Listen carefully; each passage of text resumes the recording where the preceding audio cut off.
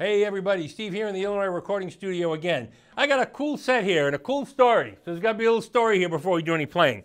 Okay, so uh, there was a fellow by the name of Randy Caputo, great player and a fellow who was a huge fan of Gene Krupa. Now, uh, a lot of you folks are too young to remember who Gene Krupa was. But for old guys like me, Gene Krupa was the guy who brought the drum set to the forefront of the uh, jazz orchestra. Uh, most notably with Benny Goodman, with a tune called Sing Sing Sing, many others. And of course, then Krupa went off and had his own big band for many, many years and was hugely influential to so many people. Uh, if you were, well, you can't go back and ask them because they're gone, but you go back and ask John Bonham and Ginger Baker who some of their influences were. And one of them they'll tell you was Gene Krupa. And you listen to a lot of that, what Ginger Baker did with Tom Toms through his days with Cream. A lot of that comes from the early days of what he learned from Krupa.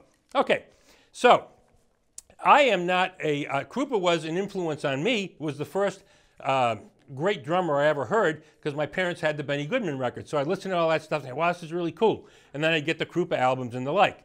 So, you know, I personally don't really play like Krupa, but um, what I want to do today is a little bit of a tribute and tell you about the set, and also it's a little bit of a tribute to Randy Caputo because Randy did uh, something called, uh, uh he had a show called Randy Caputo as Gene Krupa and he would do basically a tribute to Gene Krupa on the drum set. And he was great. And what he did, this was the set that he used that basically mimics uh, Gene. Now, Gene was a Slingerland endorser for his entire career. And I mean, this is like, God, I think it was 60 years he was a Slingerland endorser. Or 50, 50 some years. He passed when he was, yeah, it's about 50 some years. Doesn't matter. One guy, same, same uh, brand drums for his whole career. That's amazing. Today, you never know. But so what Gene used to play was uh, 9 by 13, 16 16, 24 inch bass drum.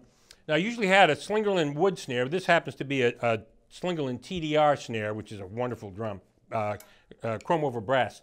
But then Gene also had a 20 inch floor tom. And he wanted that big 20 inch floor tom for the tunes like Sing, Sing, Sing, where it's very big, this floor tom oriented thing. Uh, so Randy had this kit, and there's an interesting sidebar on this kit. He got the 13, the 16, and the 24. And apparently Randy knew Buddy Rich. And at one time, Randy's talking to Buddy and telling him about this kit he got. And uh, Buddy said, oh, yeah, I played that kit for a little bit, and then I sent it back to Slingerland. Now, I don't know if that's really true or not. And it might have been a kit that Buddy played maybe just for a clinic or something, but whatever. But there's a little bit of a tie there, one way or another. So uh, in terms of selling this kit, I happen to have a 24 inch bass drum head with the BR insignia on it, which I figured, ah, just for fun, I'll throw in here. This particular set that Randy played, of course, has the GK logo on there for Gene Krupa. And the set also has with it the canister throne, which is uh, something that was very popular at the time. And of course, there's a picture of Randy here in his, in his prime that was a promo shot of him. So uh, this kit, uh, Randy passed away a number of years ago, and uh, someone contacted me and wanted to know if I wanted to purchase the kit. To which I said I would, and I'd like to keep it on display in my Illinois Shop Museum, which I did for several years. And now it's, uh, it's time for this to go out into the world and have someone else use it. And it's actually going to go to someone who knew of Randy and really loved uh, Randy's work. So that'll be a very cool thing. Uh, so what we're going to do is give you a little demo of this kit. Again, 9 by 13, 16, 16, 20 inch floor tom that Randy added later, because he got the 13, 16, 22 first and added the 20, because you can't do a Krupa without a 20. And then we got some cymbals here, and of course I've got the TDR snare drum.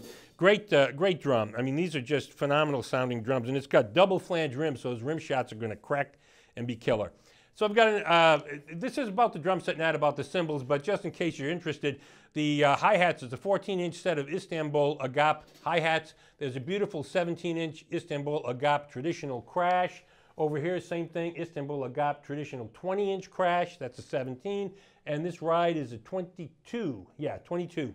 Very light. And of course, my personal 8-inch splash cymbal, which is not for sale and never will be. But you got to have that in a little tribute thing like this. So, um, we want this to be out there uh, as a tribute on an ongoing basis uh, first and foremost to Randy for having kept the Gene Krupa legacy alive. He did those shows for years and years and years. And at one point at the Hollywood Drum Show uh, that has uh, not been active for many years now, but he used to do the Gene Krupa to Jimmy Ford's Buddy Rich. So it was kind of a cool little little mix there. So I'm going to do a demo here. I, again, I am not uh, a Krupa player by nature.